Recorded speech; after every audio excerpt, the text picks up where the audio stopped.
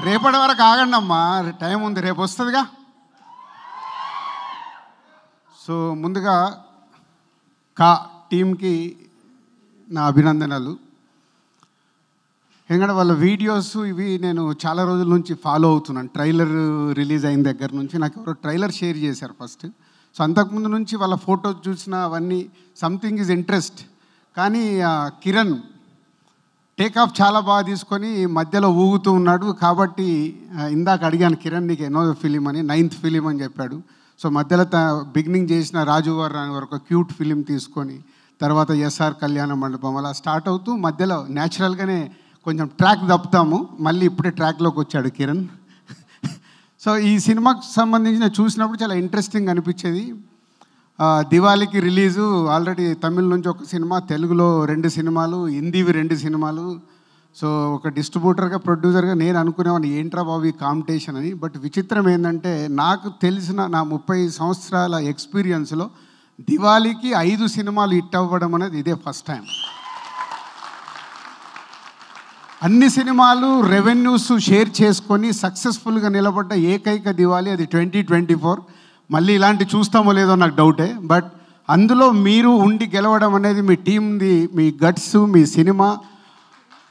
Hats off and congratulations new team almost అందరూ కొత్త వాళ్ళ పేర్లు చెప్తున్నారు. నేను మళ్ళీ పర్సనల్గా అందరినీ మొన్న అడిగాను కిరణ్ అండ్ డైరెక్టర్ని ఒకరోజు ఆఫీస్కు పిలుచుకొని మీ అందరితో టైం స్పెండ్ చేస్తానని బట్ గేమ్ చేంజర్ టీజర్ వల్ల నా దగ్గరే టైం లేదు.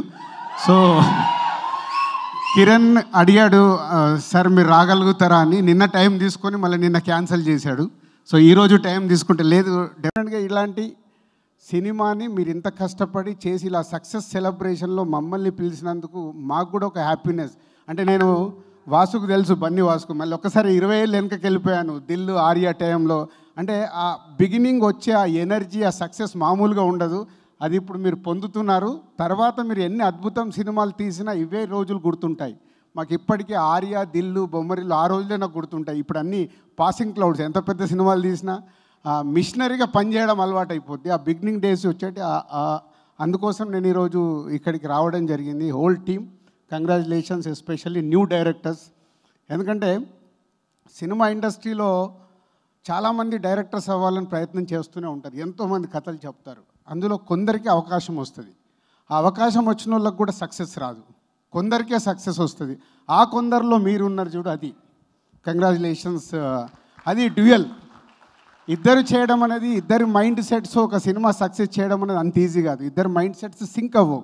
ఒకరొకలాగా ఉంటుంది ఆలోచన ఇంకొకరిది ఒకలాగా ఉంటుంది. బట్ మీరు ఇద్దరు కలిసి ఈ సినిమాని సక్సెస్ చేసినందుకు ఇట్స్ uh, మీకు ఎన్ని కంగ్రాచులేషన్ చేసినా తక్కువే. అలాగే ప్రొడ్యూసర్ ఇందాకే చెప్పారు థర్డ్ ఫిలిం అంట. మూడో సినిమా వి- విజయం సాధించినందుకు మీకు అండ్ మీ ఆల్ యంగ్ టీమ్ ఆల్ మీ టెక్నీషియన్స్ మీ ఆర్టిస్ట్ అందరికీ కంగ్రాచులేషన్స్. కిరణ్ మొన్న నీ వీడియో చూసా. నేను అది ఇవాళ మాట్లాడాలని వచ్చా మెయిన్గా. నాట్ జోకింగ్ నిన్న ఇంకొక అతని వీడియో చూసా. సెలబ్రిటీ గురించి రావట్లేదు. మీడియా వాళ్ళు అడుగుతున్నారు మా బాధ అని మాట్లాడుతున్నారు. ఇక్కడ మిమ్మల్ని మీరే ప్రూవ్ చేసుకోవాలి. ఎవడో ఏదో అంటున్నాడని మీరు భయపడకూడదు. మీ టాలెంట్ ఉంటే నువ్వు సక్సెస్ అయ్యావు ఈరోజు. మీ డైరెక్టర్స్ దగ్గర టాలెంట్ ఉంటే వాళ్ళు సక్సెస్ అయ్యారు. ఇక్కడ ఓన్లీ టాలెంట్ ఎవరిని ఎవడు సపోర్ట్ చెయ్యడు. ఎప్పుడో మీరు సక్సెస్ వచ్చినప్పుడు మాలాంటి వాళ్ళు వచ్చిన అభినందిస్తాం అంతేగాని ఈ సినిమా మీది. ఈ జర్నీ మీది. మీరు కష్టపడి చేసుకున్నారు కాబట్టి ఈరోజు కానే కా అనే సినిమా ఇంత విజయం సాధించడం జరిగింది. ట్రోల్స్. మాట్లాడవు. ఒకప్పుడు మీకు అందరు గుర్తుందో లేదో ఫార్టీ ఫిఫ్టీ ఇయర్స్ క్రితము పల్లెటూర్లలో ఉండేవాళ్ళు ఖాళీగా ఉండి మాట్లాడుకునేవాళ్ళు. అది ఆ ఇంటి నుంచి ఆ ఇంటికి ఆ ఇంటి నుంచి ఆ ఇంటికి అలా ఊరంతా స్ప్రెడ్ అయ్యేది. వాళ్ళ అదృష్టవంతులు సోషల్ మీడియా ఆ రోజు లేదు కాబట్టి ఆ ఊర్లో ఆగిపోయింది. ఈరోజు సోషల్ మీడియాలో ఉన్నాం కాబట్టి అదే ఇప్పుడు జరుగుతుంది అంతే. అప్పుడు ఆ ఊరు మట్టుకే ఉండేది ఇప్పుడు ప్రపంచానికి వెళ్తుంది. దానివల్ల నీకేం జరగదు. నీ సక్సెస్ మాట్లాడాలి. అలా ఎమోషనల్ నెక్స్ట్ అవ్వకు. నువ్వు ఎందుకంటే నీ దగ్గర టాలెంట్ ఉంది. మన నీ వీడియో చూస్తే నాకు అర్థమైంది. నీ బ్యాక్ డ్రాప్ ఎక్కడో చిన్న కుటుంబంలో పుట్టి నిన్ను నువ్వు నమ్ముకొని ఈ సినిమా ఫీల్డ్లోకి వచ్చి సక్సెస్ అయ్యావు. ఆ రోజు నీకు ఎవరు సపోర్ట్ లేదుగా ఇండస్ట్రీలో?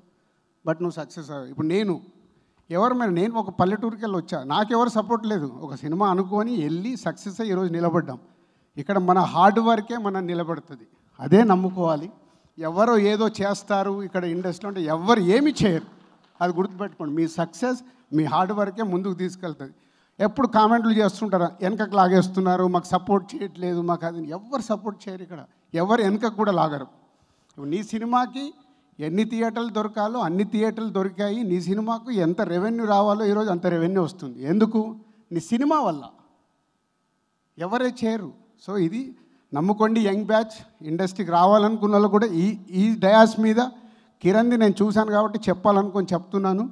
ఆయన మొన్న సెలబ్రిటీస్ రాలేదని జితేందర్ రెడ్డి రాకేష్ చెప్పాడు. రారమ్మా ఎందుకు వస్తారు ఎవరి బిజీ వాళ్ళది ఎవరి లైఫ్ వాళ్ళది? వాళ్ళ టైం మనకు సెట్ అవ్వాలి. మీడియా మీడియా మిత్రులకి ఏంటి సెలబ్రిటీస్ వస్తేనే వాళ్ళకు అక్కడ క్లిక్స్ ఉంటాయి. వాళ్ళ బాధ వాళ్ళది మన బాధ మనది.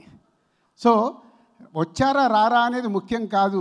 నువ్వు ఎలా నీ సినిమాని ప్రేక్షకుల దగ్గరికి తీసుకెళ్ళగలుగుతావు అనేది ఇంపార్టెంట్. సో ఏ ఎక్స్పెక్టేషన్ పెట్టకుండా మీరు కష్టపడి మీ సినిమా తీసి ఆ కాంటెంట్ ద్వారా ప్రేక్షకుల దగ్గరికి వెళ్ళండి. కొత్తగా వచ్చే వాళ్ళకు కూడా this is my suggestion. Thank you. Thank you sir thank you so much and Bunny Vas గారు ఇప్పుడు మాట్లాడతారు. సార్ ప్లీజ్ అంటే మా రాజన్ని నువ్వు బయలుదేరితే బయలుదేరిపో అని అంటున్నాను. ఎందుకంటే రాజన్న కానీ అరవింద్ గారు కానీ నాకు ఎదురుగుండి ఉంటే గమ్మున నా మాటలకు బ్రేక్లు పడిపోతూ ఉంటాయి. నాకు నా బన్నీవాసు అనే నామకరణం చేసింది మా రాజన్నే. చాలాసార్లు చాలా ఇంటర్వ్యూలో కూడా చెప్పాను. శ్రీనివాసుని కాస్త బన్నీవాస్ అని మార్చేశాడు మా అన్న. అట్లాంటి మా అన్న సందీప్ కిషన్ గారు మా వేణు మా ఆనంద్ గారు అందరూ కూడా ఈ కా సినిమాని ఇక్కడ ఇక్కడ నుంచి ఈ స్టేజ్ మీద నుంచి అభినందించడానికి వచ్చారు. Thank you thank you so much for Kiran అబ్బవరంకి support చేయడానికి వచ్చిన ఈరోజు గెస్టులందరికీ. అండ్ ఈ ఈ సినిమా గురించి నేను ఏదైనా మాట్లాడాలి నా నాకు నిజంగా ఒక మనస్ఫూర్తిగా అనిపిస్తే తప్పితే నేను ఎప్పుడు రాను ఎక్కడికి లేదా మనస్ఫూర్తిగా అనిపిస్తే తప్పితే గమని మాట్లాడను. మన వంశీ వచ్చి మన కిరణ్ వీళ్ళందరూ ఫోన్ చేసి అడిగినప్పుడు డెఫినెట్గా నేను వస్తానని చెప్పాను. దానికి రెండే రెండు కారణాలు ఏంటంటే నాకు సినిమా నిజంగా చాలా జెన్యున్గా బాగా నచ్చింది. ఎంత బాగా నచ్చిందంటే నేను ఎన్నో కథలు వింటాను. ఎన్నో కొన్ని నా ఎక్స్పీరియన్స్లో కొన్ని వందల కథలు వినటం వల్ల ఏంటో తెలియదు కానీ ఒక సినిమా చూస్తున్నప్పుడు కానీ లేదంటే ఒక కథ వింటున్నప్పుడు కానీ వాళ్ళు వెళ్ళే స్క్రీన్ ప్లే ప్యాటర్న్లో ఓకే ఇలా ఇలా వెళ్తుంది ఇక్కడ ఇక్కడ ఇలా ఉంటుంది అనేది ఒక ఎంతో కొంత దొరుకుతుంది మాకు అంటే తెలుస్తుంది ముందు. ఎస్పెషల్లీ సినిమా చూస్తున్నప్పుడు అయితే డెఫినెట్గా తెలుస్తుంది. బట్ ఈ సినిమా నేను హానెస్ట్గా చెప్తున్నాను నా క్లైమాక్స్ తెలీదు నేను చూస్తున్నప్పుడు. ఇట్లాంటి క్లైమాక్స్ వస్తుందని అయితే మాత్రం నేను గెస్ట్ చేయలేకపోయాను. నేను ఏదైనా ఒక పది సినిమాలు చూస్తే పది సినిమాలకి నాకు ఎండింగ్ ఇక్కడ ఉంటుంది అనేది ఒక అర్థం అవుతుంది బట్ ఈ సినిమాకైతే ఎట్టి పరిస్థితుల్లోని నా వల్ల అయితే కాలేదు క్లైమాక్స్ నేను గెస్ట్ చేయడం ఎలాంటి క్లైమాక్స్ వస్తుందని. నిజంగా that is great screenplay. నేను చూసిన ఈ మధ్యలో అన్నింటిలోని కూడా గ్రేట్ స్క్రీన్ ప్లే. ఎందుకంటే ఆ స్క్రీన్ ప్లేలోనే ఎప్పుడు కూడా ఆడియన్కి డైరెక్టర్స్